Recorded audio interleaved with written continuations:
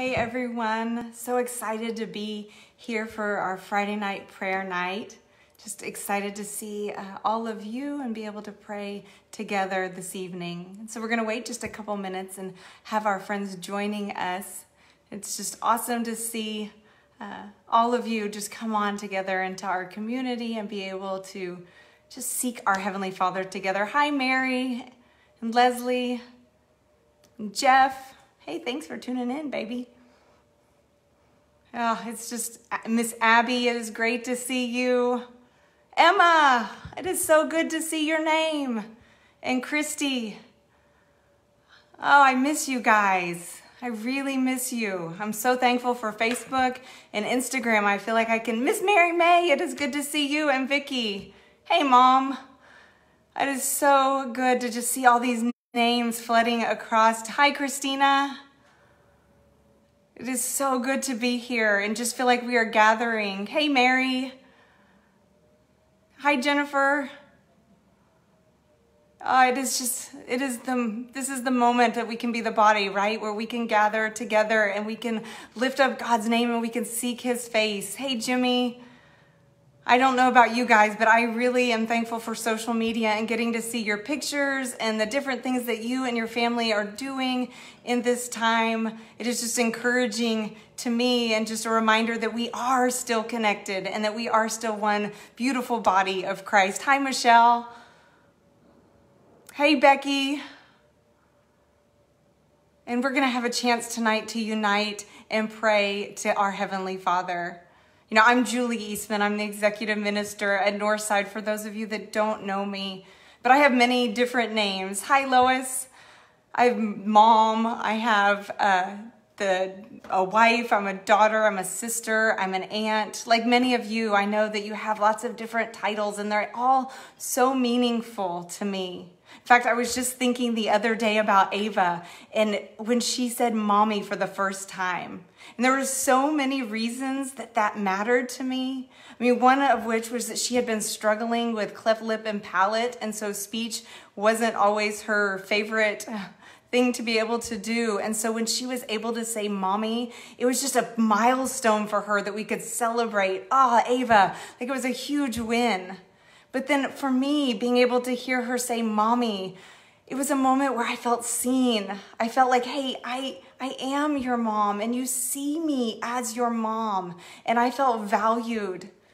And that's when people say our names. Hi, Amy. When we say Misty, when we say Lois, when we say Abby, when we say our names, we feel seen and valued. And that's what we want tonight. We want to say your name. We want to be seen and valued together as a community. And we want to be seen and valued by our Heavenly Father who loves each of us so, so very much. You know, in this COVID time, it has been feeling a little isolating and feeling a little alone. And I don't think that that really has to do with where we necessarily are. So whether we're staying at home and we're on lockdown or we're an essential worker and we're going to work, I have a tendency to think that all of us at one point or another during this time have felt alone or maybe even a little unseen. You know, in those moments where it's like, I'm feeling this. Is there anyone else in this world that is feeling this too? Am I the only person that is thinking this? Have you all felt alone at all in this season? Is there a moment where you were just questioning, are, am I the only one? Am I the only one that feels that I'm not valued or I'm not I'm not seen or cherished or even does anybody even remember me anymore? Does does anybody even know me? Hit the like button, hit any of those buttons uh, down there and just shout together, we're not alone. We're not alone in this. And I think the beautiful part of those moments when we can feel unseen or we can feel alone is when we is when our heavenly father steps in and gives us glimpses that he sees us. And through by with me i uh, am given those glimpses with my kids when they run up and they hug me. I love hugs and so hugs make me feel seen and valued. Or when jeff says thank you or a friend sends a text at just you know at just that right time and they didn't even know that you needed it and you get that text oh that just that's that's a heart button right that's That's when you know you feel loved. Or the random moments when you're on Facebook or Instagram and all of a sudden a scripture pops up that somebody had shared and you're like, God, you see me. That was the word I needed in that moment. And God sees us, guys. He sees me and He sees each of you. There is no doubt. There is no doubt that He sees your work. He sees your hopes and your dreams. He sees your despair and your frustrations. He sees your anger and your doubt. He sees your successes and he sees your failures. And friends, he sees your past, he sees your present, and he sees your future. And there is comfort in knowing that our God sees us, that he knows us, and that he knows all. And not only does he see us, he loves us. He loves you, Kathy Thomason. He loves you, Nelson. He loves you, Phyllis. He loves each of us and he calls us by name. He knows every hair on our head. We are not alone. We have him to walk with. And so tonight we're going to be walking toward him. We're going to be leaning in and we're going to be praying and just for these next couple minutes. And we're going to be seeking his face because you know what? In Psalm 116, 1 and 2, we can read, I love the Lord because he hears my voice. Amen. And my prayer for mercy. Because he bends down to listen, I will pray as long as I have breath. Can you just imagine that right now, God bending down to listen to us? He hears us and he sees that we are gathering on Facebook Live to pray to him right now. In Jeremiah 29 12, we see that it says, Then you will call upon me and come and pray to me, and I will listen to you. So let's pray. Let's pray to our Heavenly Father that is going to listen to us, that is leaning in, that is bending down to hear our voices right now. And we're going to call him by name because he calls each of us by name. He calls you Gina and he calls you Bonnie. He calls you Christina by name. We are going to call him by name. And the first name that we're going to call him is we're going to call him Jehovah Shalom. And that means he is the God of peace. Who needs peace right now? I know I do. I would be hitting that like button, but on Facebook Live, I don't have the option to hit all of these fun buttons. But I would be hitting that button right now because I see, I, I hear, I hear God and I know He sees me and I know He pours out His peace on me and He pours out His peace on each of you. In what area do you need God to pour out his peace on? Write that in the comments. Write that right now so we can be praying over that. Is it your marriage? Is it your job? Are you returning back to work next week? Maybe it's on the other end. Maybe you're ready to go back and you're having angst because you are stuck inside and you're ready to get things back to normal. Regardless of the place that you need peace, He will meet you there. And so, right now, let's pray to Jehovah Shalom together. Please join me. Uh, dear Heavenly Father, Lord, I am gathered here on Facebook Live with my brothers and my sisters in Christ, with people, Lord, that are seeking your face because they know, Lord, that you are the God of peace, that you see us and that you hear us and that you love us, Lord, and that what we ask, you are listening, you are bending down to hear us and respond. And so we are boldly praying right now for your peace. That with each of these people that are listening to these words, Lord, that they will shout out to you the areas that they need peace and that you will meet them there, Lord. We boldly pray that this peace we do not understand, it surpasses our understanding, but we know that it is you. It is who you are, and you are true to yourself. And so we ask, Lord, please make yourself present to us.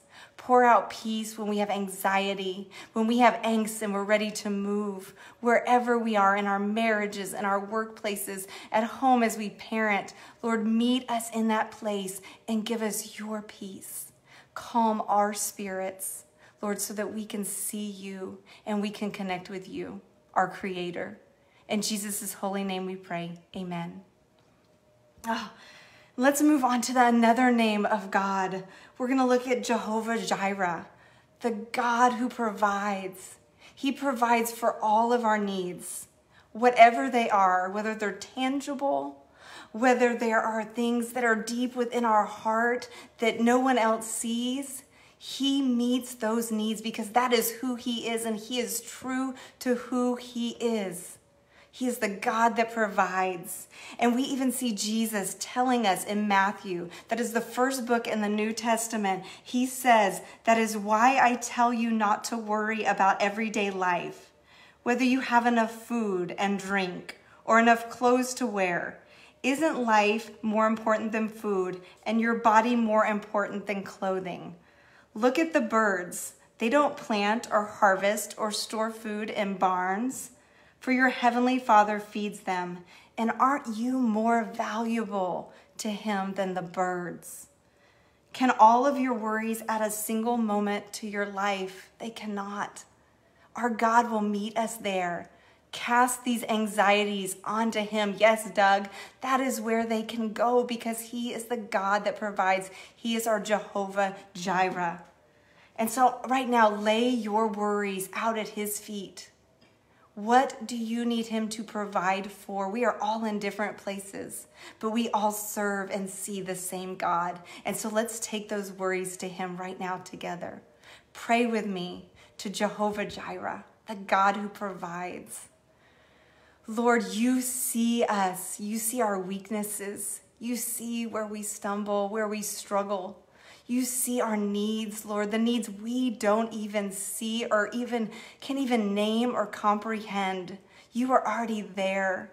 And so, Lord, we pray boldly, Lord, that you will meet our needs right now, each of our needs personally, that this time, in this season, Lord, we trust you, that our trust multiplies and we are able to affix our eyes on Jehovah Jireh, the God who provides and that we can trust that. Lord, we love you and we want to be a church of, we want to be a group of people. We want to be Christ followers, disciples that shout, Our God provides. He will be present. He will show up. He does love you. And we love you. God, we love you so much. Is in Jesus' name we pray. Amen.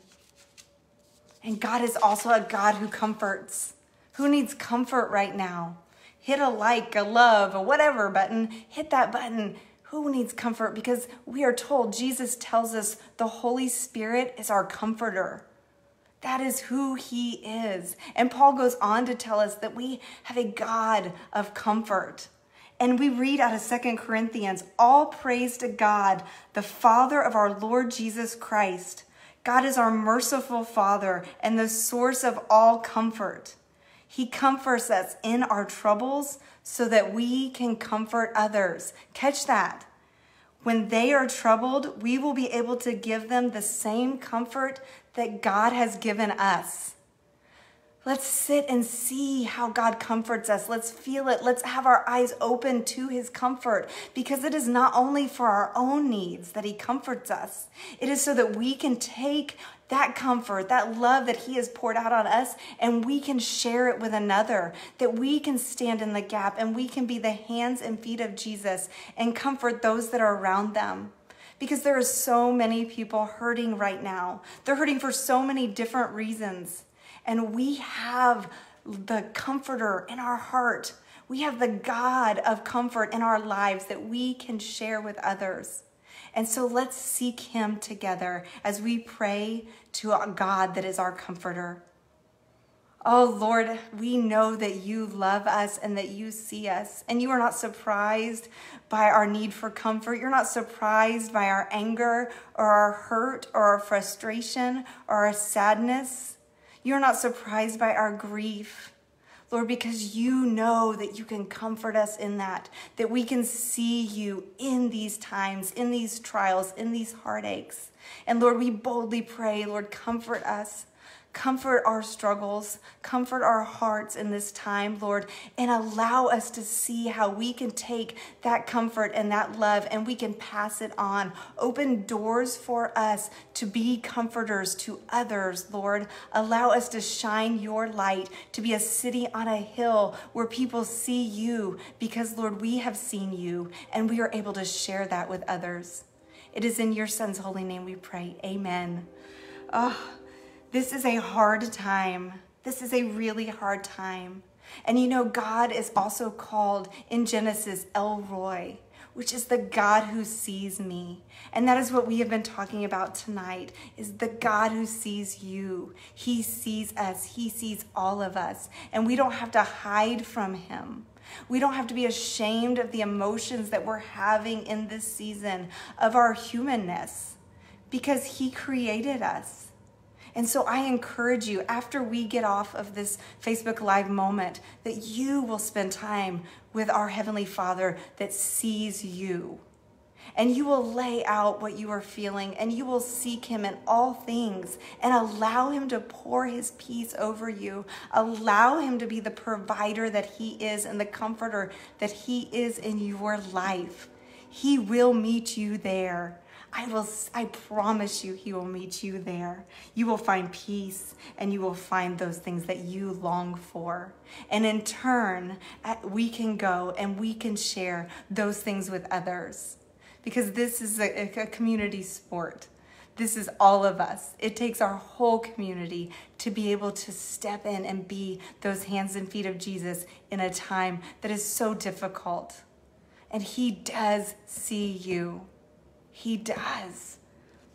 If you have any specific prayer requests, we want to be praying for you and with you this week. You can let us know that in the comments right now. If you want to also just fill out the form because you feel more comfortable doing that, you can click on that in the comments and we will get that. I will get that and I will be praying for you specifically. Hi, Matt. It is so good to see you. Uh, we want to pray for you. We want to go to God on your behalf. And so please fill that out, share with us so we know how we can be praying for you.